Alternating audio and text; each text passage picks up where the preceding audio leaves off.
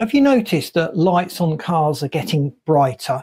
In fact, it's become a major problem. About 90% of drivers state that car headlights are just too bright. About 25% of these drivers try and avoid driving at night or just don't drive at night because of the glare that they get from headlights. 85% of respondents in a recent RAC, the Royal Automobile Club in the UK, stated that they had been blinded by the lights of oncoming cars we did our own poll on here and at the end of this video I'll post up the results of that poll and your comments we have a growing problem. Lights are getting brighter. What's happened to the humble car light over the years? And how have these modern innovations affected the modern motorist? And most importantly, we're going to look at some tips to help the driver avoid the problems associated with glare. There's a few very, very simple things that we can do.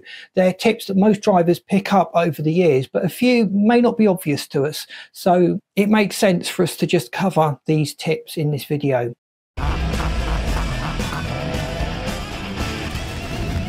Over the years, we've relied on the traditional light bulb. A filament is heated, it starts to glow, and that emits light. Now, the byproduct of this process is a lot of heat is given off. So we're putting electrical power into the bulb, we're getting out some light and some heat.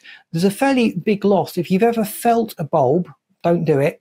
They're really, really hot when they've been on for a while. A lot of energy is lost through the creation of heat in the bulbs. With modern headlights, they've become much more efficient. In most countries and most areas, there are legal limits or legislation that generally involves the wattage of the bulb. They don't always look at the light output of the bulb. Here in the UK, the pattern of light that is dispersed is tested annually. And interestingly, about 25% of cars fail due to incorrect aim of headlamp bulb. Straight away, we've got the problem of the bulbs being aimed in the wrong direction. Plus, we've got the issue of bulbs being much more efficient and outputting a lot more light.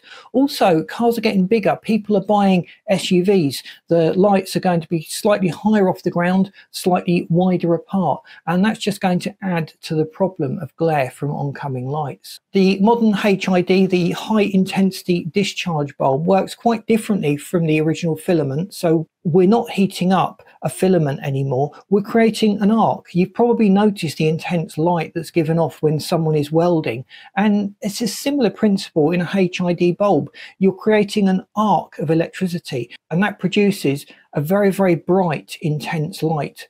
These do degrade significantly over time. About 10,000 hours will reduce the light output by about 70%, according to some sources. Of the 30 million cars that are tested annually in the UK, 1.5 million of those fail due to an incorrect aim of the headlights or the incorrect beam pattern coming from the car, which is quite a significant proportion. What can we do as a driver to reduce this problem of being blinded at night? The first thing is a very simple technique. Don't stare at the lights. When we first learn to drive, you tend to be attracted to the intense light that's coming towards you, and you'll look at that now, in the olden days, when we used to take photographs, we used to have the flash bulb. And once you saw the flash bulb, that's all you could see for a few seconds afterwards. And something similar happens when we stare directly at a very bright headlight. It literally does blind us momentarily, and our eyes take a little while to adjust. What we can do is aim our eyes slightly lower than the oncoming light beam or slightly off to the left or to the right. This involves us using our periphery, the outside edges of our vision to determine where we are in relation to the road markings and oncoming vehicles. But that avoids a significant part of this problem of being blinded by oncoming lights. If we're tired, we're more susceptible to be blinded. Our eyes are more tired. Our blink rate, interestingly, slows up. We're blinking less. Our eyes are overall a little drier than they would be normally. And all of these aspects of being tired contribute to being easily blinded by the glare of these oncoming lights. We're looking through glass, and if that glass is not clear, that is going to cause a big problem. The oncoming light tends to fog up the windscreen. It, if the windscreen is not clear, all the mist and all the smears on the windscreen will just capture the light and spread the pattern. So we're effectively looking at a backlit dirty windscreen and that can significantly reduce the, our visibility. This necessitates us to keep the windscreen clear, the outside, but Also, the inside. Driving with a very foggy or misty screen is actually really dangerous at night. It makes visibility almost impossible when you've got an oncoming light shining at you. People have also suggested night driving glasses. Do I recommend these? Well, I would have to say get them from a reputable source. A lot of the dubious ones that we might buy in a corner shop haven't been tested to the correct standards. They're not going to do our eyes very much good. And they're effectively just going to filter all of the available light rather than the bright headlights that are coming towards us. And in some cases, that can restrict our visibility. Think of the cyclist at night wearing dark clothes with no lights. We may just see them without these tinted glasses on, but with the tinted glasses on, they're almost completely invisible. Also, polarizing glasses can also create artifacts as the light shines through the shatterproof or shatter resistant glass, you can start to see the artifacts of the glass structure that protects it.